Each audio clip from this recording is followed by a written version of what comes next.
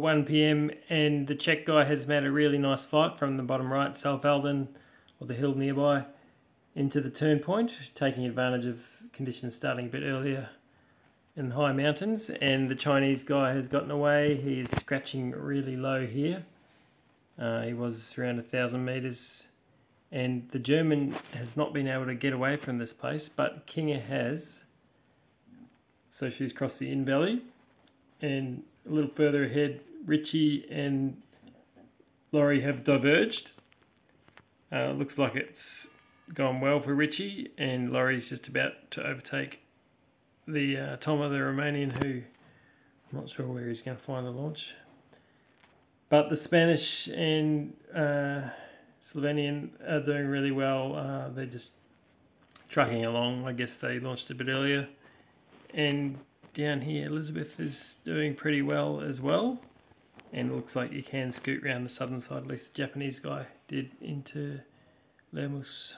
At 2 p.m., the Czech guy must be getting close to launching. Chinese guy is still scratching above the hill.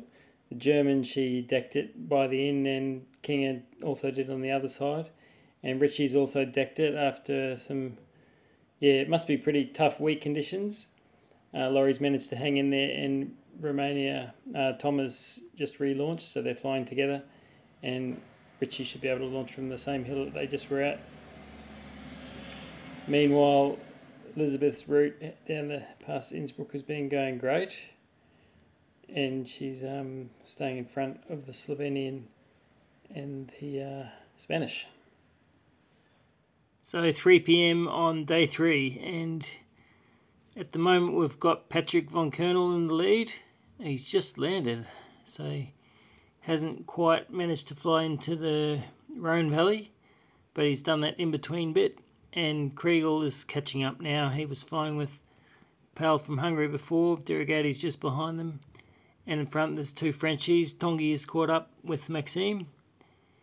These guys back here have landed and hiked up a bit just after crossing the Oberalp Pass but they're um, flying again. So that's uh, Thomas and uh, Damien from France. Here we've got Simon flying on his own. He seems to end up like that a, a bit. And uh, who else we got from Austria? Paul Guschlbauer looks like he's landed along with Swiss 4, that Sepp in DeSantis. So it was really clouded out here and the leaders seem to have a bit of trouble getting past it. Might have been showers as well. And yeah, some of them landed and waited, and Maxime had a low save from close to there. Looks like Tom de Dorlodot's landed in the valley. And uh, France 4, that's Tim Malongi, still in the game. Uh, Marcus Anders, still alright. And uh, Reto and Nico Danini as well as uh, Tobias. So this is getting close to where Chrigel and Co were early this morning. Oh, that's where he got stuck, Thusis. So, yeah, actually, here's Spike and the Canadian coming along just after tagging the turn point, I'd say, or it's a still a little way back. There it is. So that's where they started this morning. So Maximilian, uh, more or less where they had the first thermic flight, Chrigel and, and co. We've got the American flying on his own, Logan, and uh, back at the Lermoos turns point, Japanese has just started flying and Elizabeth will be hiking up the hill and Spanish guy's just topping up for his final climb before gliding in. Slovenians being with him, but they split apart not long ago. But they're not too far apart. And uh, yeah, that's Elizabeth's line down there. And uh, here we have the Romanian. He managed to stay in the air while Laurie landed. So really tricky scratching conditions here, totally different to in Switzerland where it's overdeveloping. So the Australian has just climbed up and he's probably about to relaunch.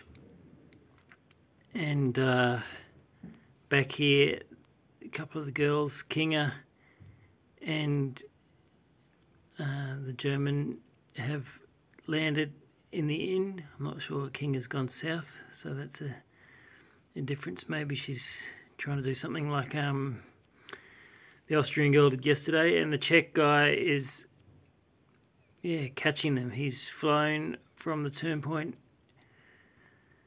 some time ago, and I'm not sure where the Chinese guy got to.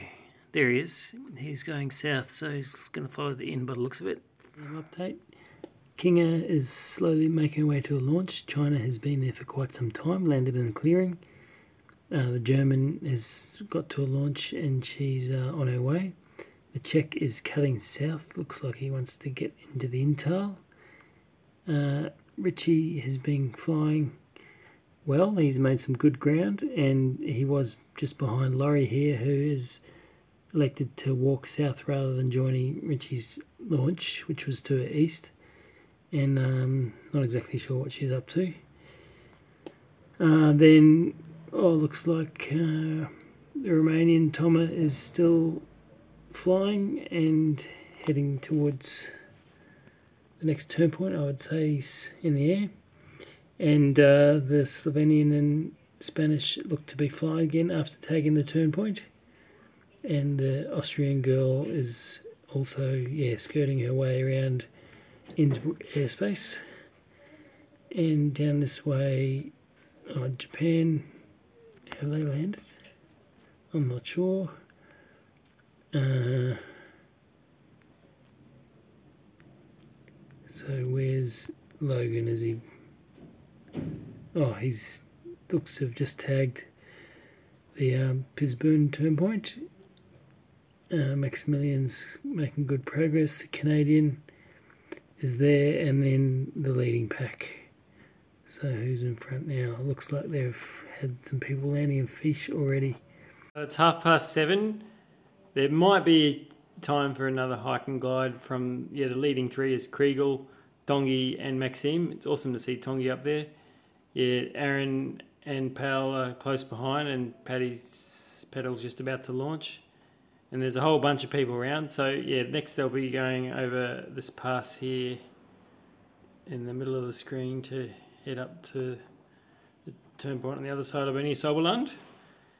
Yeah, lots of pilots in the region. I haven't even checked this out lately, but oh, a few of them got stuck at the uh, the head of the.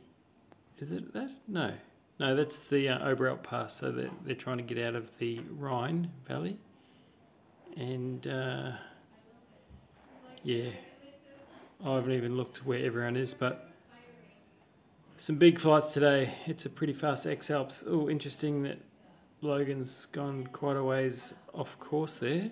Hmm, I wonder what happened there. And maybe there's a bit of rain on the bigger mountains, don't know. And uh, yeah, the guys there look to be on the ground. And yeah, Toma didn't make it all the way in. He's landed. Oh, the Germans had a, having a really nice late flight on the uh, route that I meant to take on my last X, last X Alps, but I bombed just north of where Richie is. He's decked it in the middle of no man's land. So not only is X Alps getting harder because of the competition getting better and better, but they're getting more and more rules. So there's a, there's a huge area around him, the Karwendel, even though he's just crossed inside the Austrian border, so he doesn't have to worry about the German official takeoffs only. The Czech's doing well. He's got the Inn Valley on his left hand.